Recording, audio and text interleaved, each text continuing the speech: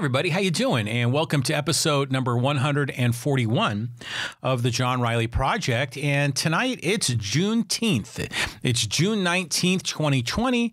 And boy, we're going to talk about a lot of great issues tonight. We're going to talk about, of course, Juneteenth. We're going to talk about um, statues and the statues coming down. We're going to talk a bit about DACA. Um, so this is going to be a great podcast episode. And I mean, really, the, the overarching topic tonight is going to be about justice, which I think is really important. And, you know, this podcast, of course, all about life, liberty, and the pursuit of happiness. And all these things kind of align when you break it down. So we're going to have fun kind of going through this. I got some fun stories to tell you as we walk through some of these issues. Um, but before we get started, I just want to you know, put this out there. You know, if, if you're a fan of this podcast, if you enjoy watching or listening, maybe you're watching on YouTube, listening wherever you get your podcasts, you know, Apple Podcasts, Stitcher, Spotify. In fact, I think we're now on iHeartRadio. Um, we're on a bunch of new podcast only platforms. So I need to compile and updated the list. Um, but wherever you happen to be listening or, or viewing this, it, it'd be really helpful if you can subscribe, if you can like, or if you can share, you know, because what I'm trying to do is build the audience and and the best way to build the audience really is through word of mouth. So if there are things here you like, um, yeah, share it with a friend. Uh, certainly subscribe. If you're on YouTube, you can click on the subscribe button and the little bell next to it where you'll get updates on future episodes. Um, you know, so you know, this podcast is all about a you know, it's a community forum. I enjoy the dialogue, and hopefully, you like what we're talking about. Maybe you disagree. I'm always very open to the the input, the conversation, and I think that kind of dialogue, that kind of openness, hopefully, is something you like, something you support. And if you do, you know, if you could subscribe, like, or share these podcast episodes, boy, that'd be really, really helpful. Um, okay, so enough of my plea for support. Um, let's move on. And I just want to start it off with a quote. I think this is just a wonderful quote that I discovered when I was preparing for this podcast. And it's never forget that justice is what love looks like in public. And this is from Cornel West. And, you know, Cornel West, pretty interesting person. We see him as a guest frequently um, on the national news. You know, he's a, an American philosopher, a political activist, a social critic, an author, a public intellectual. He speaks on a lot of race issues. Uh, but Cornel West, yeah, he said, never forget that justice is what love looks like in public. And it makes you think about that. And, you have to ask yourself, you know, what is justice? What does justice really mean? And and I want to kind of define it, you know, up front for everybody because justice, I think, is going to be the common thread that uh, that we're going to follow as we go through some of these uh, various current events, some of these topics that we're going to explore.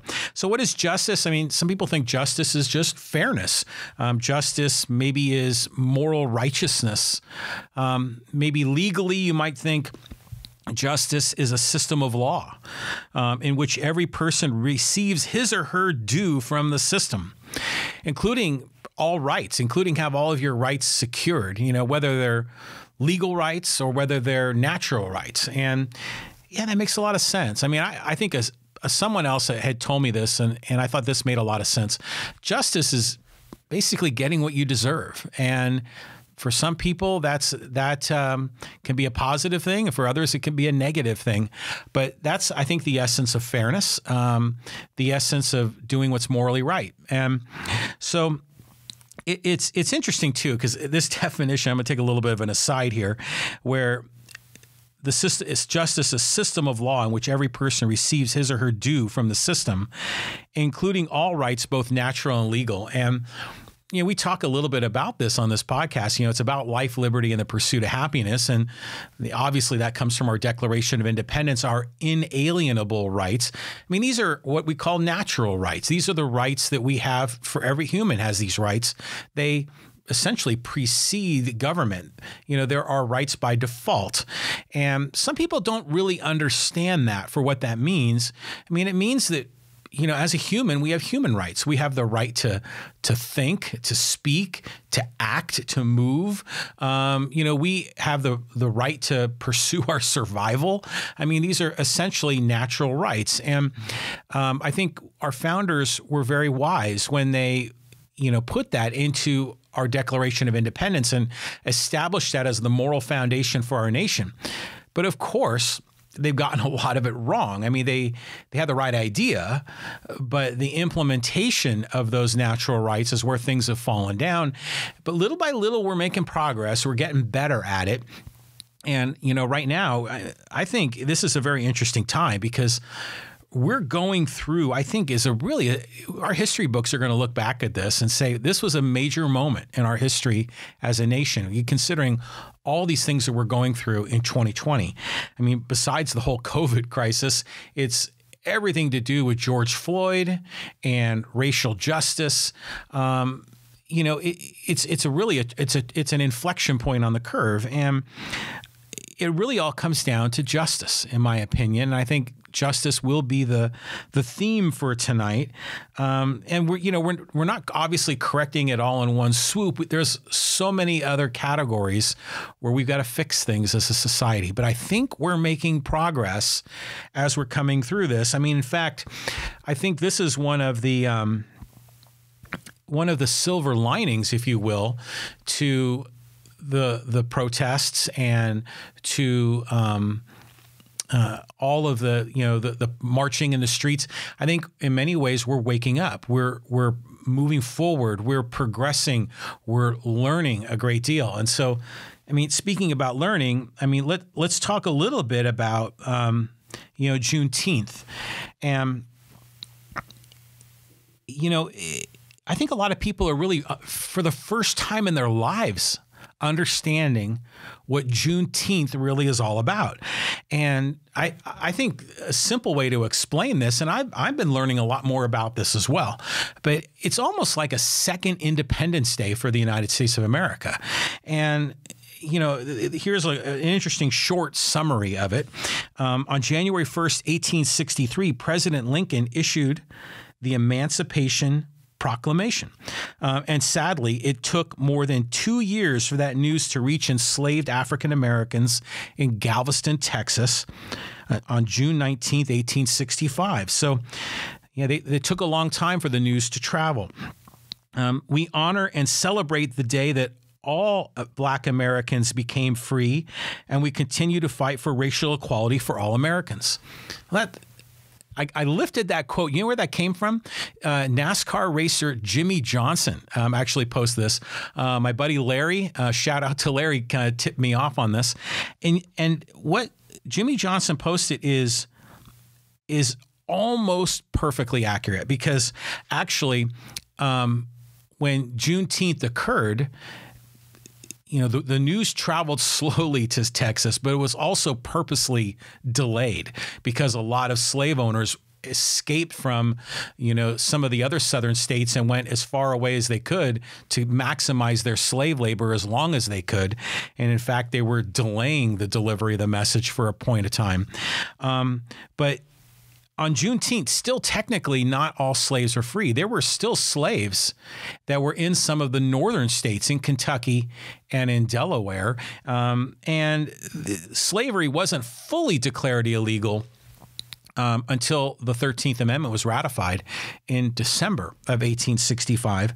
Um, but I think we can all agree that this really whether we want to get technical and break it down, the, the real point is is that this is another Independence Day. I mean, this is the day that you could say that the slaves became truly free. Um, you know, certainly when Abraham Lincoln announced the, the Emancipation Proclamation, it was just in a speech, but it never became law. The message wasn't fully delivered this should be, in my opinion, just an absolute no brainer that this should be celebrated in America. Um, it's another Independence Day. And what's more American than liberty? What is more American than freedom? What is more American than independence? So it's just weird how, like, for some people, there's pushback on this. Some people don't think it's a real deal. Some people are questioning the validity of, of Juneteenth. I'm, I'm saying, people, come on. I mean, the more you learn about this, the more you realize how critically important this is in American history. Um, so I, I, I think this is just fantastic. And it's fantastic that we're waking up to all of this. I mean, again, this is kind of the silver lining um, of what has occurred, you know, since the tragic murder of George Floyd. So we're we're learning, we're progressing as a society. But then it makes you wonder, like, why are people not hearing about Juneteenth? And and I never heard about it. Um, maybe you did. I, I certainly didn't. Um, I can't recall this was ever discussed in any of my history classes in you know, elementary school, high school. I, I, didn't really take history classes in college, although if I were to roll back the clock, I probably would have studied history and a lot of different things. Um, I was more in the math, computer science world when I was in college, but. Um, I still don't recall ever hearing about this. And some people said, "Oh, yeah, it was it was Jubilee Day," and then I'm learning, well, maybe it was celebrated in Texas, but it wasn't celebrated in all the different states. And then I keep wondering, this is amazing. This seems to me like a major failure of our education system that this day, Juneteenth, the second Independence Day in America, is just not widely understood. That it's just not embraced. I mean, this is a holiday that we should all come together on. Why isn't this taught in our schools? Or if it is taught in our schools, why is it so sporadic? I mean, certainly July 4th, 1776 is not um, discussed sporadically. That's a universal truth. Um, why is this one not so universal? And, and I'll begin a little bit of a tangent. To me, this is why we have a, we have to talk about our educational system. We need major reform, but right now the establishment or the government or public schools have essentially close to a monopoly on K through 12 education. Um, only a very small fraction of those that go to K through 12 are actually going to non-public schools. Maybe they're going to private schools, charter schools, but this continuation. I mean, they talk about systemic racism and how it's interwoven in our culture. Well, it's interwoven in our education system.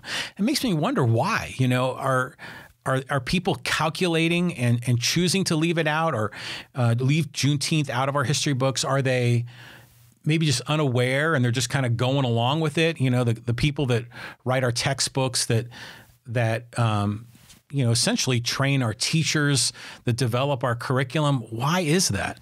So I don't know. I'm a, I'm an advocate for school choice. I always have been. I mean, imagine if there were schools that are out there that would actually teach the complete history of the United States, not the white history or the black history, but all history. Imagine that. Uh, because right now, I think a lot of people would say that we're getting the quote unquote white version of history uh, because the victor in many of these cases is the one that writes the history. Um, some people would call this privilege. Um, but I think if we had a, a, a more open, a freer education system, I think there would be a lot more schools that would be teaching the complete package of history and actually would be putting a lot of pressure on a lot of our government schools to get with the program. Now, I think because of what's going on right now with the whole Black Lives Matter movement and everything else, lots of people are waking up. I think we're going to start to see some change, and I think that's that's possible. But you know, how much agitation has gone on for so many decades about trying to get more black history into our history classes. And yet the needle rarely moves on that. Um, then, anyways, I digress. It is interesting that we're just learning about this. And another um, one of my previous guests on the podcast, Kim Garnier, she um, posted this on Facebook. I thought this was really interesting, and she said, "It's no accident that you learned about Helen Keller instead of. W.E.B. Du Bois. You learned about the Watts and L.A. riots, but not Tulsa or Wilmington." And I want to make a comment about Tulsa, but let me save that till I finish reading through this. You learned that George Washington's dentures were made of wood rather than the teeth from slaves. You learned about black ghettos, but not about Black Wall Street. You learned about the New Deal, but not the redlining. You learned about Tommie Smith's fist in the air at the 1968 Olympics, but not that he was sent home the next day and stripped of his medals. You learned about black crime, but white criminals were never lumped together and discussed in terms of their race. You learned about states' rights and the cause for the Civil War, but not the fact that slavery was mentioned 80 times in the Articles of Secession. Um, privilege is having history rewritten so that you don't have to acknowledge uncomfortable facts. Racism is perpetuated by a system who refuse to learn or acknowledge this reality. You have a choice. Happy Juneteenth. so just a, this is very interesting.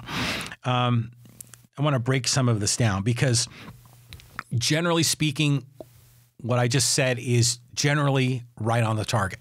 There's a couple of things I can quibble about. Like W.E.B. Du Bois, I remember hearing about him, but honestly, if you were to ask me right now what is, you know, the two sentence description of who he is and what he did, I don't know. Um, I know it was taught to me a long time ago, but I don't remember that portion of history, to be very frank with you. Um, I've known about, of course, about the Watts riots and the LA riots.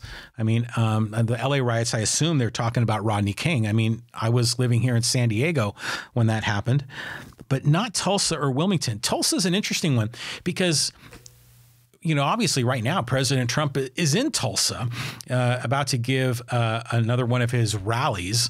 Uh, he's going to do that tomorrow night. But Tulsa, we learned about this huge um, race based, like, essentially like a firebomb of the city. Um, and I didn't learn about it until I watched the HBO series The Watchmen. I don't know if you knew about it, of what happened in Tulsa. This was like almost 100 years ago it's amazing that that was never taught to me. I never even heard that story, um, yet it was conveniently left out of the history books that I studied.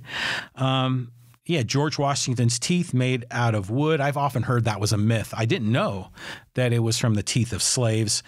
Um, yeah, we learned about the New Deal, but not redlining. I think a lot of us have learned about redlining, especially in the last 10 to 15 years. Um, yeah, the whole notion of the Civil War was about states' rights. I mean, it was definitely about slavery. And by the way, states don't have rights. People have rights, um, which is a whole other digression. Of course, the 10th Amendment, which, by the way, is almost ignored entirely, is about defining the scope of government. And if it's beyond the scope of the definition for the federal government, it becomes the jurisdiction of the states. And if not them, then certainly the jurisdiction of each of us as individuals to make our own choices. But really, states don't have rights, people have rights. So the whole concept, states' rights, kind of a misnomer in my opinion. Um, but yeah, the Civil War was about slavery. I mean, obviously. So this is just interesting. And then you know it concludes with you have a choice. Now I'll give um, make sure I'm clear on this. Kim Garnier didn't write this. I mean, she was reposting something that she had picked up which again I think is generally very very accurate. Um, but you have a choice. Well, do we? I mean, when it comes to education, how much choice do we have? Um, if you're wealthy, you have a choice to go to a, to a, a, a, different school. But if you're poor and you're born in a um, weak school district and you don't have many choices, right then you're stuck with the education system that you're delivered, um, and oftentimes you're getting the version of history that I was taught, which some people would say is the white version of history. It's interesting, uh, very interesting. So again, we're going. This is a, just a big transformation time in America's history, and I think, you know, George Floyd was murdered, um, but a lot is coming from that. We're we're moving forward. We're learning. We're getting better, and I think that's great. Um, you know, I a lot of people have been saying, when did you first hear about Juneteenth? And I first heard about it probably like it was in the mid 1990s and i was working uh, for a company up in vista which is in north san diego county and one of my uh, my my coworkers uh, was a, a young African American, and he was telling me about this celebration that they were having at a, a park in Oceanside, and it was for Juneteenth. And I'm like, what's Juneteenth? I never knew anything about it. And he was saying, well, it's when the slaves were finally freed. And I was like, hmm, okay. And I was, I mean, meanwhile, I'm thinking in my head, well, th- yeah, they were already freed. I mean, that's what the Civil War was all about. But it just seemed like when I was learning about it from him that it was kind of a like a black cultural event, um, and I was curious and I didn't really know much about it. I probably should have asked a lot more questions. Maybe even I should have attended the celebration, but I didn't. But I always remembered it because Juneteenth is kind of an unusual name, right? Um, so it stuck with me. And then as time continued, now heck, we're now 25 years later. Um, I heard a little bit more about it and a little bit more about it, but now this year, you're just suddenly hearing so much about it, um, and it's. Again, it's interesting how we evolve and how we learn. And uh, the more I'm, I'm th- this podcast is all about life, liberty, and the pursuit of happiness. Liberty is part of this podcast. Juneteenth is about liberty. I mean, this is a this should be, like I said, a no-brainer to be a national holiday. A national holiday. This is an easy choice if I were supreme dictator of the world. Um, I mean, yeah, what could be what could be more American than liberty? Um, last uh, summer, uh, my wife and I we went on a on a vacation, and we we first went to Butte, Montana, and we went there to research some of my family history. Uh, my my um, ancestors came from uh, Kinsale, which is in southern Ireland, and then they many of them uh, were in the in the mines in Butte, Montana. Um, I had a chance to walk in their footsteps, which was wonderful. But then after we wrapped up what we were doing in Butte um, we went on a vacation that we had always talked about going on, and we went and visited Nashville, Memphis, and New Orleans. And in fact, if you if you're so interested, I did a whole podcast episode on this vacation um, and the things that we experienced, and it was fabulous. But one of the the big highlights for us was when we were in Memphis, Tennessee, and we went to the National Civil Rights Museum. And it's right there in the Lorraine Motel, the motel where Martin Luther King Jr. was assassinated. And man, that what a moving experience that was. And I I really felt it was important to go to this museum. It was on our itinerary of the things that we wanted to accomplish when we were going through each of these cities. But what's interesting is as I've gotten older, as I've learned more about maybe my own view of morality, uh, maybe my own interpretation of what makes this country great, is really understanding what our founders meant by the whole notion of inalienable rights. And so when I look at what Martin Luther King Jr. did and what many other civil rights leaders did, what they were doing wasn't necessarily just fighting for black rights. It wasn't just a black thing. They were fighting for American values. They were fighting for equality under the law. And what they were doing was absolutely righteous. So I you know, I'm I'm in the Civil Rights Museum with my wife, and you know, I'd say two thirds of the people in the museum with us were African American, maybe even three quarters, and everyone sees this history through their own lens. And I'm a liberty guy. Some people say I'm libertarian, but I'm definitely looking at the National Civil Rights Museum through that lens of liberty. And man, it's powerful. It's very moving um, to think about how how Martin Luther King Jr. was so effective at what he did, yet we still have not really fulfilled his dream. Um, but again, this is about justice, right? I mean, justice is the is the is the theme here in this podcast episode. So I I just want to share one piece of, of the I Have a Dream speech. And I shared this in a previous podcast, but I'm just going to take a very tiny excerpt from it from Martin Luther King's I Have a Dream speech which is all about liberty, equality, and justice. And he said, When the architects of our republic wrote the magnificent words of the Constitution and the Declaration of Independence, they were signing a promissory note to which every American was to fall heir.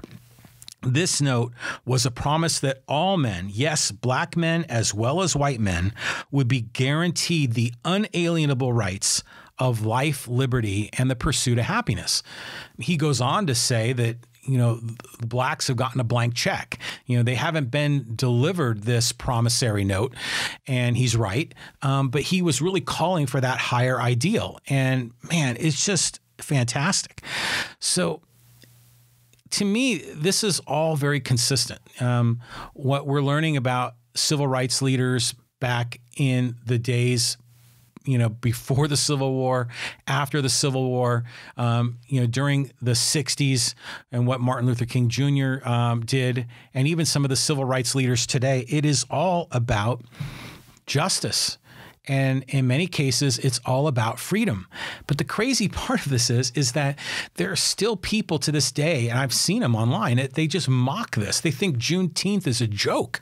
They think it's just some black thing and it's not worthy of our support. And the funny thing is, is that these are the people that you typically see embracing America and embracing freedom. We're all for freedom. But if you're really for freedom, then you got to be for Juneteenth. It's a no brainer, folks. So, new, Juneteenth should absolutely be a national holiday. And, um, to not only celebrate Independence Day number two, um, but also as a matter of justice. The freeing of slaves, one of the most fantastic, you know, achievements in the world of liberty in our nation was freeing of slaves, giving liberty to those that didn't have it before. Now, granted, they never got full liberty, um, and we've been working on that. And they've come, uh, I say they, uh, we as a society have come a long way. But this, again, this is Juneteenth should be a national holiday. Let's move on. Um, I want to talk about these statues. And how a lot of these statues are coming down. People are tearing down statues. Um, but I first want to start off with a quote, and this is from Benjamin Franklin. And he said, Justice will not be served until those who are unaffected are as outraged as those who are. Okay. That's good. And I think we're seeing that now, right? A lot of people that were unaffected by a lot of these situations are now becoming outraged. Uh, Martin Luther King Jr., again, said something very similar. He said, it's not possible to be in favor of justice for some people and not in favor of justice for all people. So now let's look at that through um, you know, let's look at the topic of the statues and the statues coming down. And we're seeing this with like Confederate leaders, right? And that was really what started the whole Charlottesville uh, situation um, when there was a statue of Robert E. Lee in that city, and they wanted to tear it down, and that got all of the um, uh, white supremacists enraged, and they were all out there with polo shirts and tiki torches, um, and also, you know, uh, what was the um, what was it? No soil, no blood. I can't remember the line, but definitely lifted from uh, Nazi Germany. Um, but it was it was clear racism, bigotry. Frankly, it was flat out Nazism that was being shared there at Charlottesville. But what they were doing was there was a yeah, a statue of Robert E. Lee, the the leader of the Confederate Army. You could say the leader of the army of the enemy being celebrated in a public square, taking that statue down, a lot of people think that's the right thing to do. In fact, some people say having Confederate statues in the United States is like having a statue of Osama bin Laden at ground zero. You know, these are the enemy. You know, we shouldn't be celebrating them, no matter how you feel about Robert E. Lee, because a lot of people think of him very highly, but still he was fighting an immoral cause. He was fighting to to restrict liberty, to restrict our inalienable rights of life, liberty, and the pursuit of happiness. Um, some people will say, well, you can't tear these statues down. You're erasing history. You know, you're whitewashing history, you know, no pun intended. Um, and, you know, I used to think that way. I, I, I used to think that way. Because, I mean, I obviously wasn't a supporter of these, these Confederates. Um, leaders, these Confederate generals, these Confederate politicians, obviously. But I thought, okay, so I used to think wrongly. I used to think, well, it's the Southern culture, and and even if you believe that they were evil, well, at least we have a representation of that evilness that we can learn from as a society. I used to think that way. And I realized I was wrong. I was absolutely wrong. And it was funny because um, a few years ago, I got a chance to go to Europe for my first time. And my daughter was um, studying in Florence. She went there for the summer. And I went out and met her. And I flew into Rome. We rented a car, by the way, and we drove from Rome up through, um, we went to Bologna and a number of other cities in northern Italy. And then we wrapped around the top of the Adriatic, I guess it is. Went to Slovenia, by the way, went to Lake Bled, which is this wonderful place. It was like a paradise, a little lake with a um, with an island in the center and a castle on top of that island. Um, and then we went to um, Croatia, and then um, eventually drove back to Italy. Went, we were in uh, was it Verona, and then we got on a train and we went over the Alps and we went to Munich.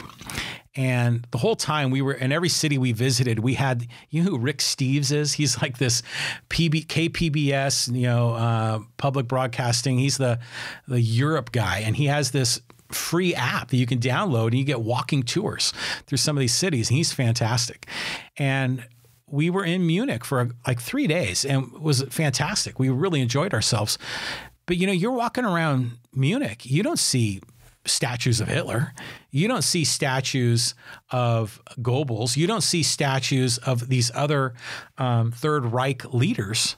They tore them down. And, and they didn't want to, they didn't erase them from history in Germany. I mean, they acknowledged their history. They, they acknowledged the sins of that nation.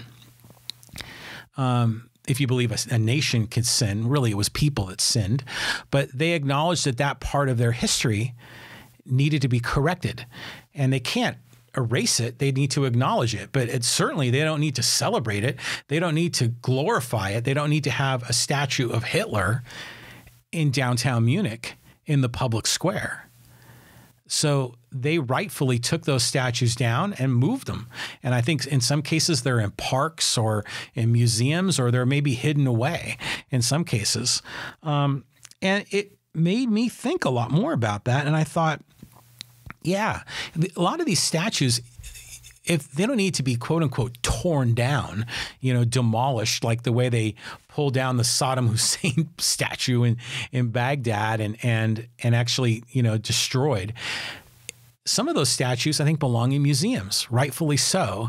Um, that's the appropriate venue where we can learn from history. We can learn the mistakes of history and that's the appropriate place for it. And you know, when my wife and I were on that trip, and we we flew in, in into Nashville, and then we rented a car and we drove to Memphis, where we went to the National Civil Rights Museum and did a bunch of other things in Memphis. That was wonderful.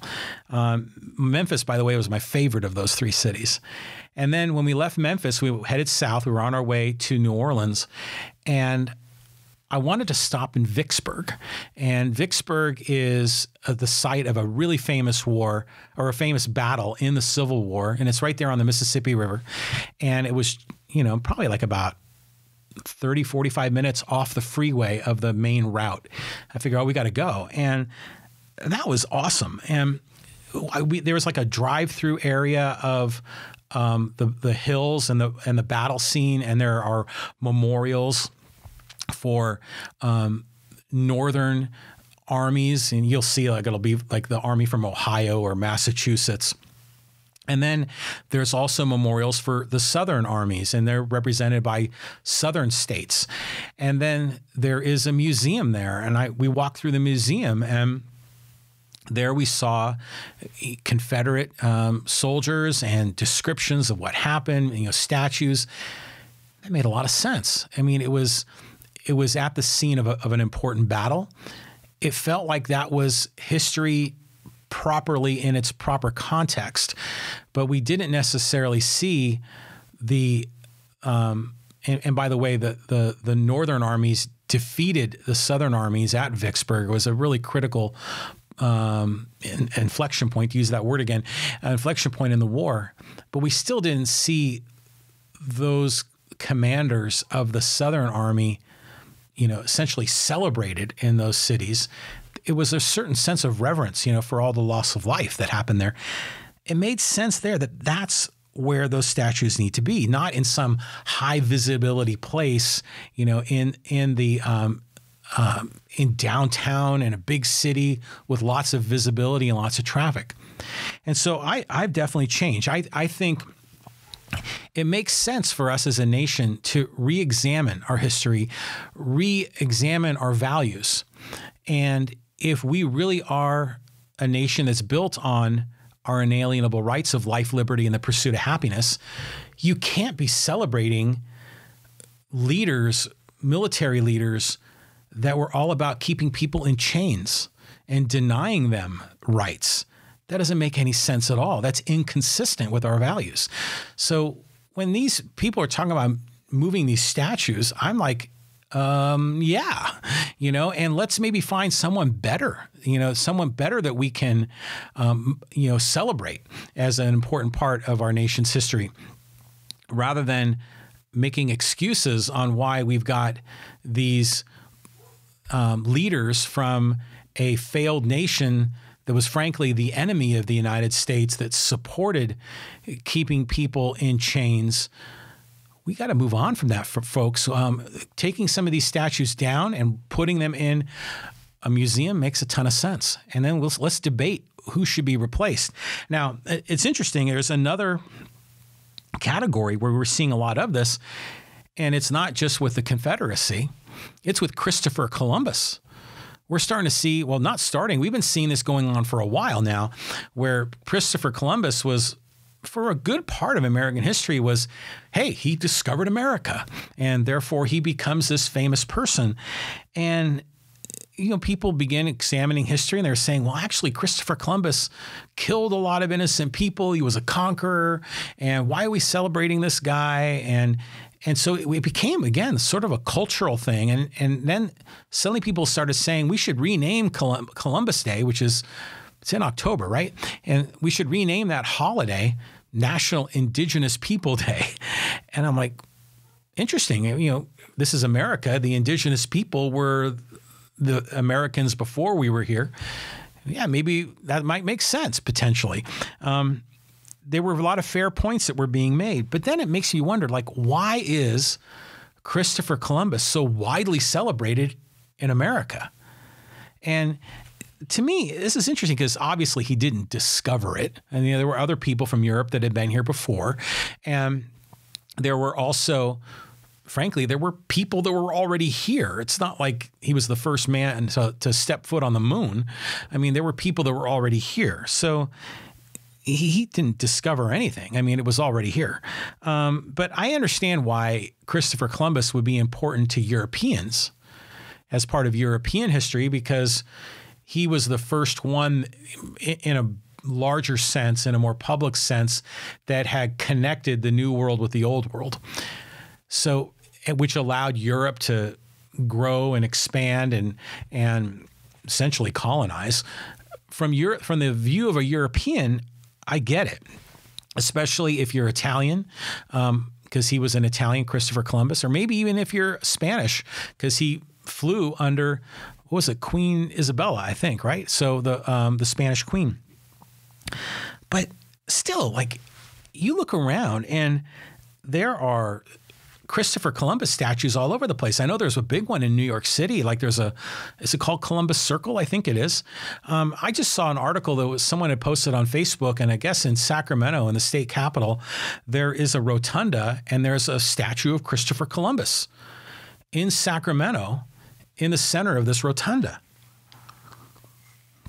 And of course, people are saying, "Oh, we got to tear that down. We got to take care of that. Take that statue down." I'm thinking to myself, why is Christopher Columbus in the California state capitol? What is his connection to California? Doesn't make any sense at all. And, you know, we, we should move that statue. There should be a Californian in the state capital of California. I mean, someone like, I don't know, John Muir, Leland Stanford, who helped build the Transcontinental Railroad, Steve Jobs. I mean, Steve Jobs is a hugely transformational character in human history. Um, yeah, why not Steve Jobs? Certainly more than Christopher Columbus. Um, so it, it's just remarkable how we see him everywhere. Now, another friend of mine, um, my friend Jack, who lives up in San Francisco, he and I were swapping some email this morning, and and I, he was filling me in on what's going on there. Now he he lives in North Beach, and if you've ever been in San Francisco, you know that North Beach is a is kind of like the the old Italian community of San Francisco. I mean, a lot of those ethnic lines have been broken up. I mean, a little bit of a tangent here. Um, back when I was born, I was born in San Francisco, and back in the day, the San Francisco was largely ethnic neighborhoods, and my family all lived in the Irish neighborhood. That's where my mother and father met, and all my cousins or everyone was from this Irish, you know, community in San Francisco, you know, Eureka Valley. It's now the Castro district. Uh, so in the 60s, you know, when there was white flight and a lot of people moved to the suburbs, a lot of those ethnic lines sort of broke down. Um, and there and that whole neighborhood changed. I mean, if you've ever been on Castro Street, oh my God, it's completely different. I'm sure than when it was when it was a Irish Catholic community. Um, but North North Beach was always the Italian area, and there, Columbus Day is like a national holiday in North Beach because they're celebrating their Italian heritage.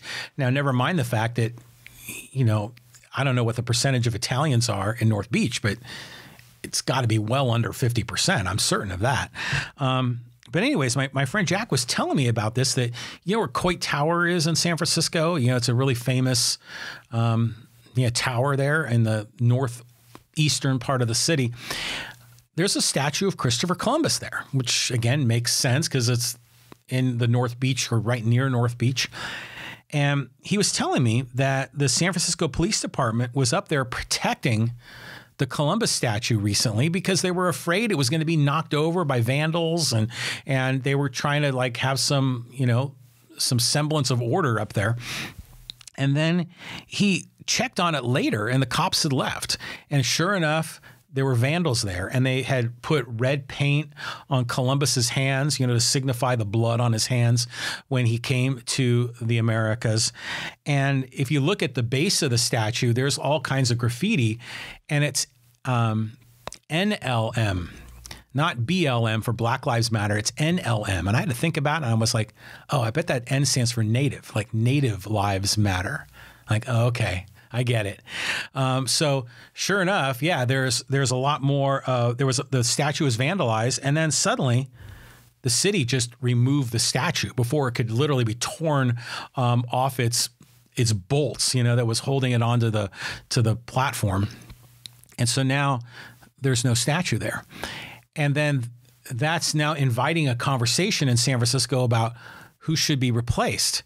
And naturally, people are saying, well, it should be an Italian because this is in the Italian neighborhood of, of San Francisco. And I get that. And people are saying, well, what Italian is what famous Italian comes from San Francisco? And then a lot of people are saying Joe DiMaggio. You, of course, you know, the um, the Yankee Clipper, you know, the center fielder of the New York Yankees. Of course, yeah, he was definitely from San Francisco. Um, but you want to have a ball player there? You know, I'm, I'm as big of a baseball fan as they come, but I'm not sure if he's the right guy. And then Jack was telling me that they they are now coming forward with this guy, and I never knew his name, but his name Amadeo Pietro Giannini.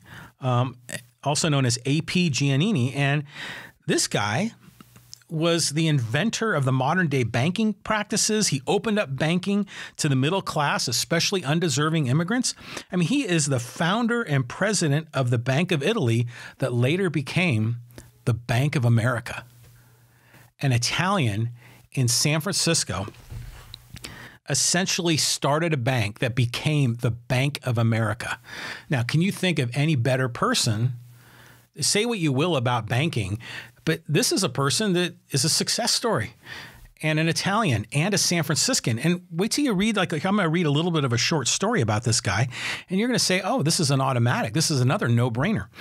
So, as the founder and president of the Bank of Italy, which later to be renamed Bank of America, which would go on to become the biggest bank in the nation, he was a driving force to get San Francisco financed and rebuilt after the 1906 earthquake catering to all the common folk who the traditional banks wouldn't do business with, who just needed loans to rebuild their businesses and homes.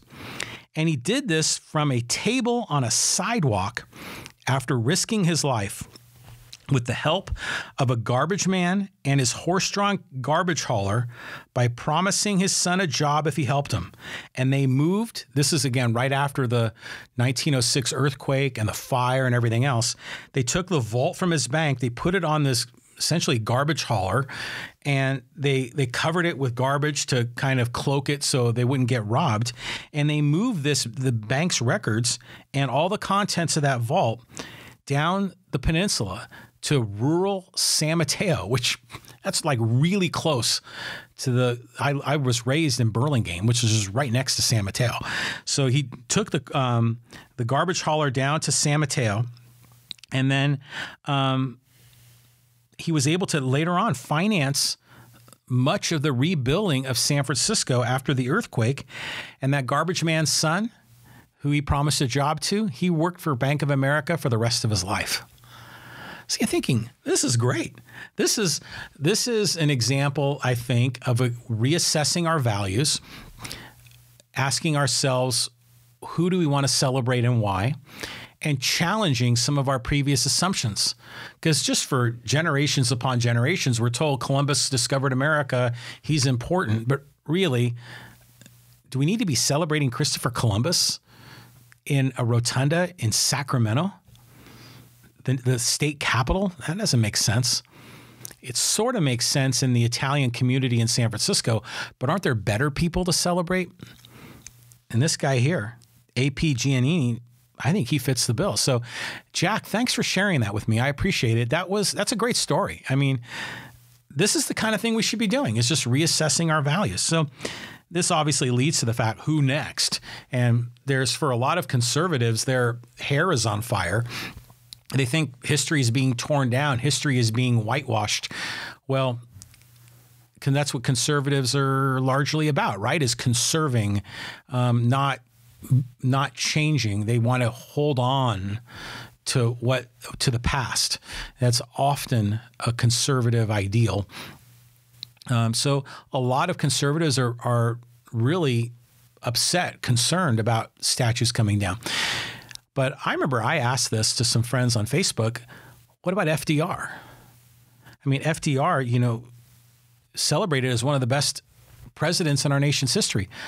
But he, everyone knows the story. You know, he he had internment camps for Japanese Americans.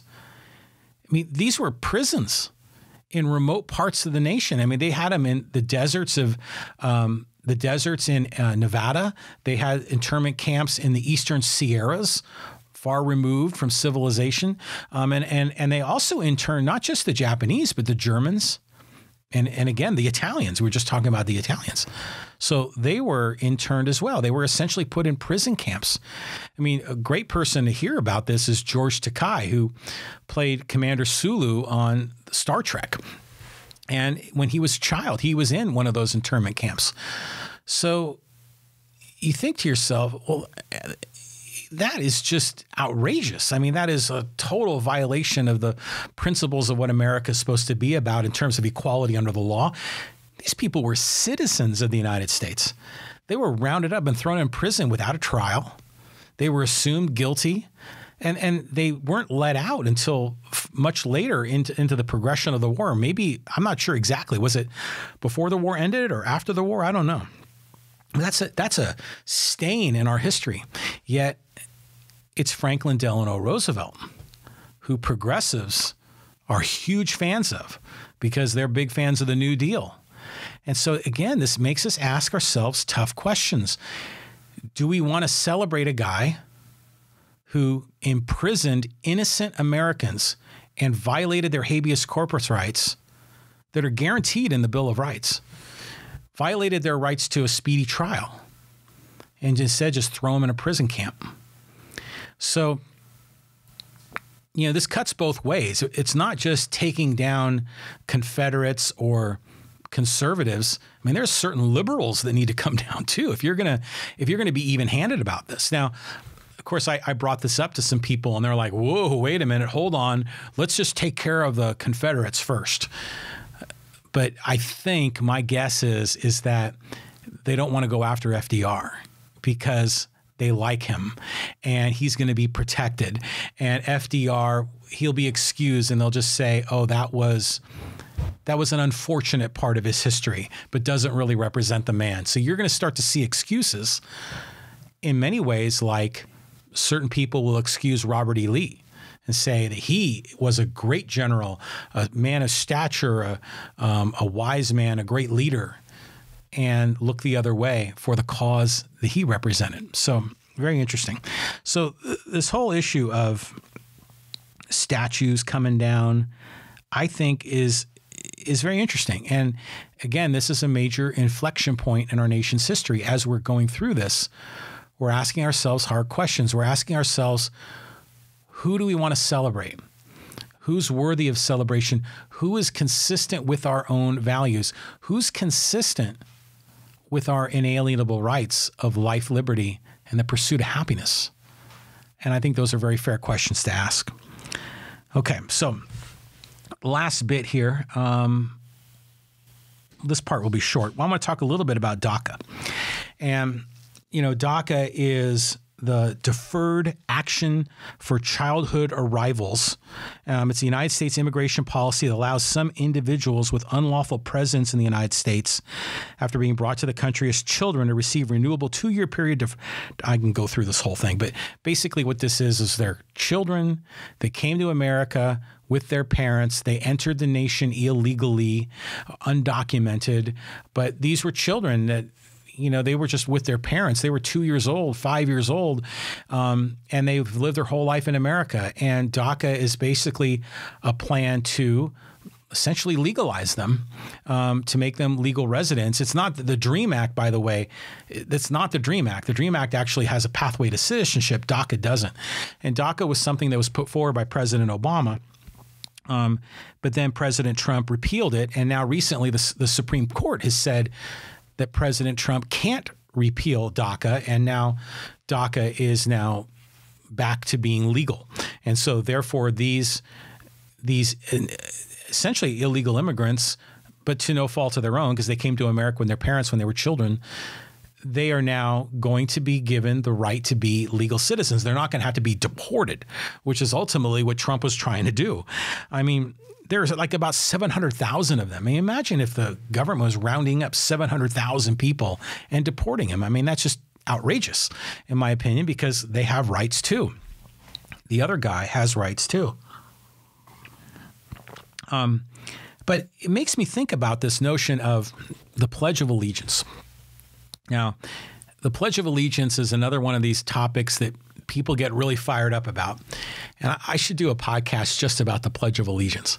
Because, in my opinion, it's pledging allegiance is the opposite of liberty.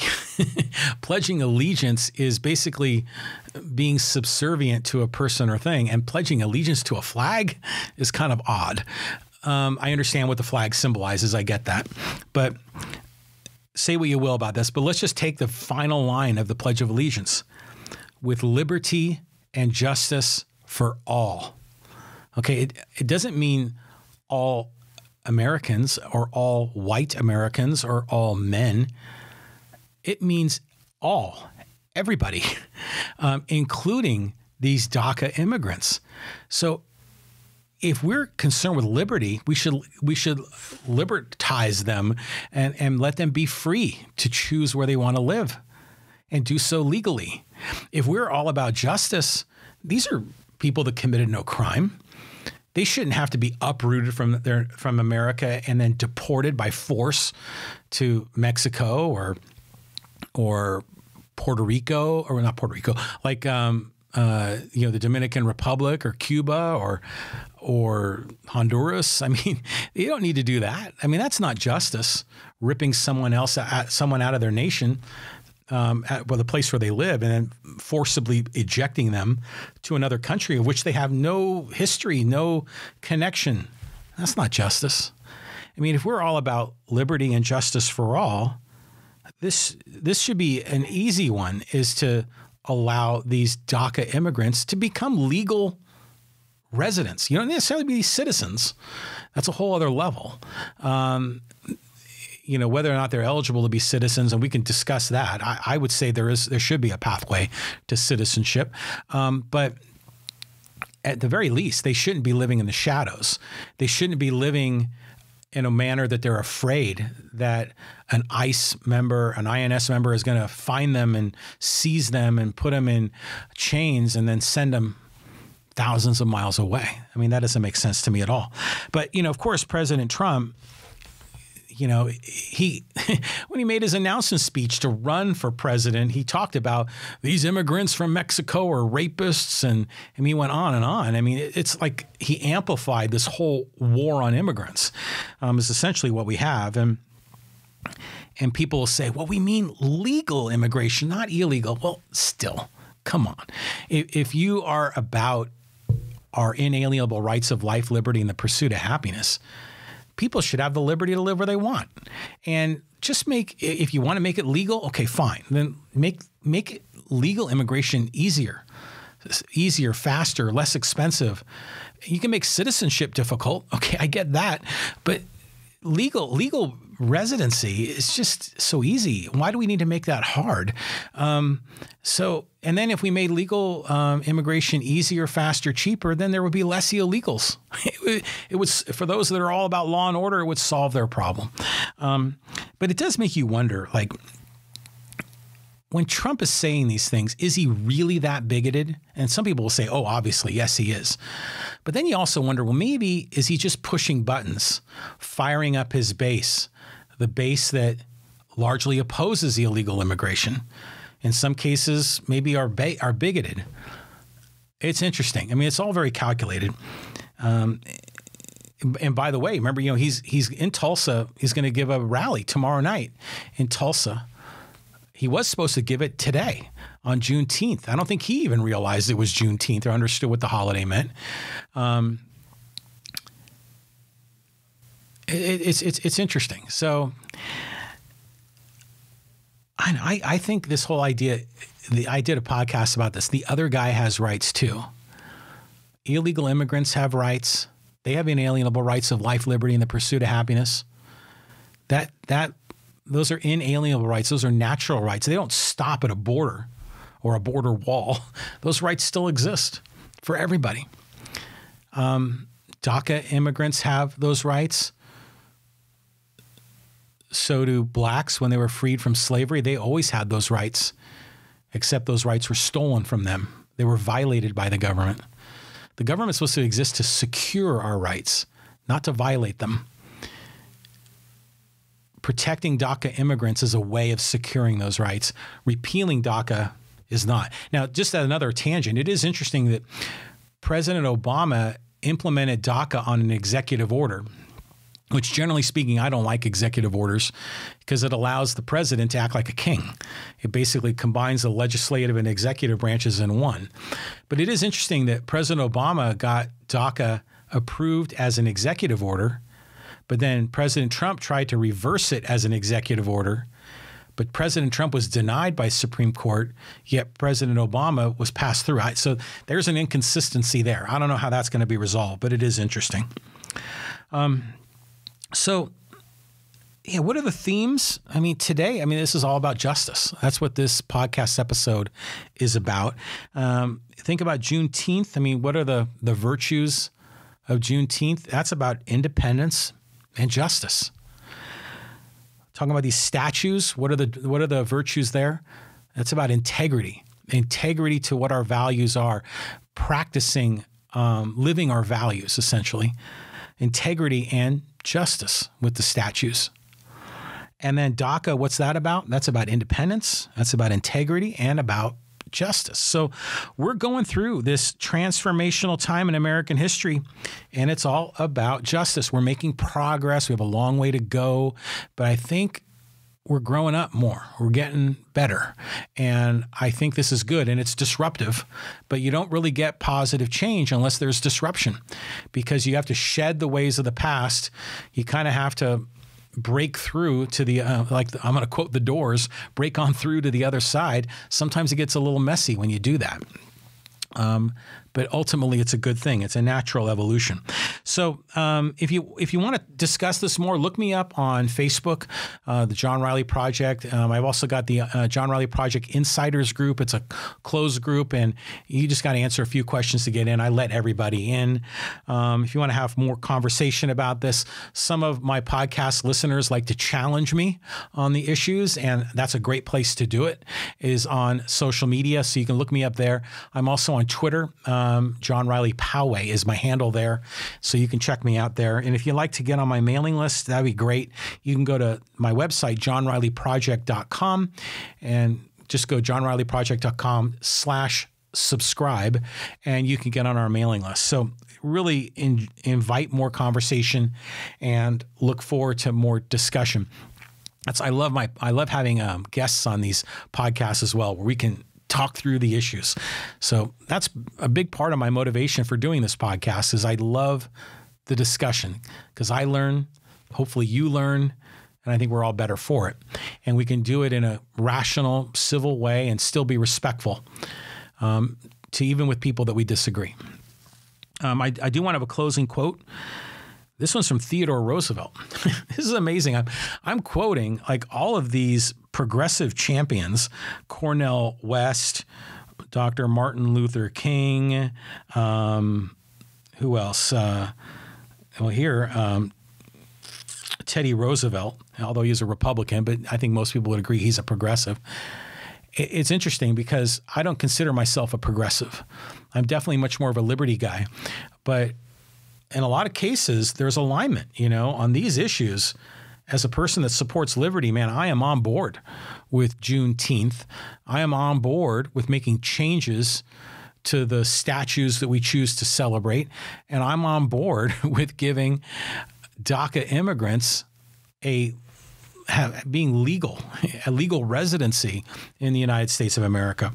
So I'm quoting a lot of progressive champions, but I'm doing it because this is aligned with my values. In some other categories, I'm very much on the opposite side of some of my progressive friends. But where I have alignment, hey, let's let's come together and let's celebrate the overlap in the Venn diagram where we come together. So, anyways, this is the closing quote. It's from Teddy Roosevelt. Justice, again, that's the theme today. Justice. Justice consists not in being neutral between right and wrong, but in finding out the right and upholding it wherever found against the wrong. So that's a great line from Teddy Roosevelt. And I'm going to leave it there. So, this is episode number 141 of the John Riley Project.